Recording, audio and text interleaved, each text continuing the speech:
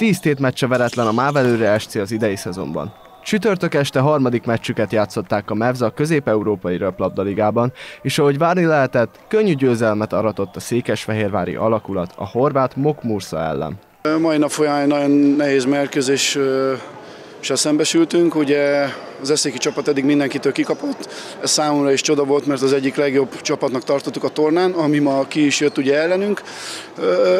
Az első két szedben én azt, én azt láttam, hogy eléggé uraltuk a, uraltuk a játékot, azt a harmadik szedben kicsit elfogytunk fejbe, ugye ez az elmúlt két napi mérkőzésnek is köszönhető.